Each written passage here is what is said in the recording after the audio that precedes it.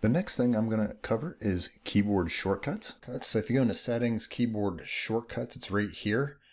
And um, what you can do is you can search for things like run console or run terminal, Python run uh, selection. So like shift enter is primarily what we're going to be using in this course. Um, if you want to change that though, you can double click this and um, change that to something like control enter uh, and enter that and it changes it up here.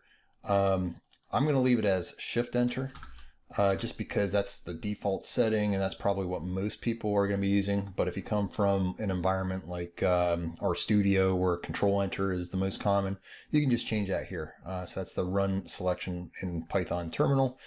Um, and uh, and yeah, so you can. There's all sorts of different uh, key maps. Uh, you can kind of scroll down through and and find different things. Um, there's a lot to go through, so definitely use the search.